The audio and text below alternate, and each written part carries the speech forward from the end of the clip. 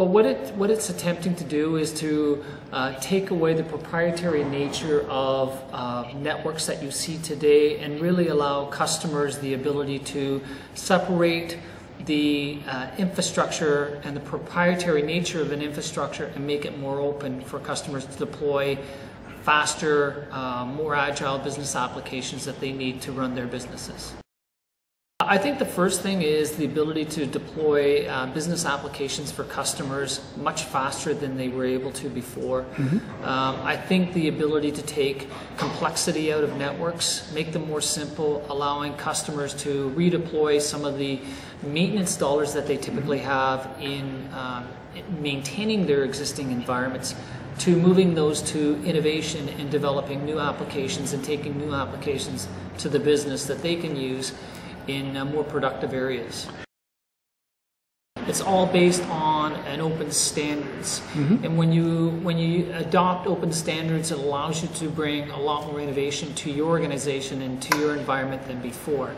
Uh, it eliminates the whole vendor lock-in scenario mm-hmm. and proprietary nature of a lot of existing networks today.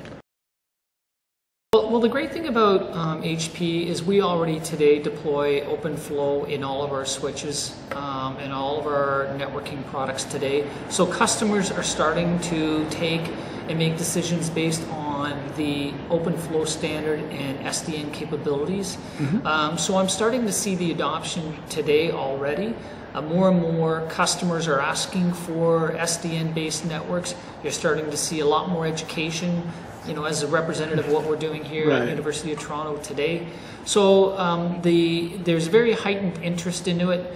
Um, I would say for the last, uh, you know, 18, uh, 12 to 18 months, it's been getting more and more uh, prevalent in terms of uh, conversations that we're having with customers, and more and more people are buying and making decisions on their network investments based on the ability to deploy uh, software-defined And you're starting to see application developers develop applications today that ride on SDN-based networks.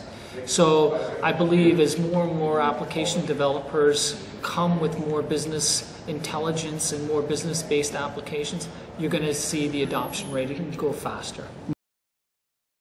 Well, first of all, I think we need to talk about it. I think we need to make sure that, first of all, we support OpenFlow in our products today, like HP is one of the few that, that does that.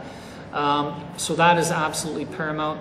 I think we got to get away from the idea that proprietary nature of networks and network mm-hmm. devices mm-hmm. is is just no longer acceptable.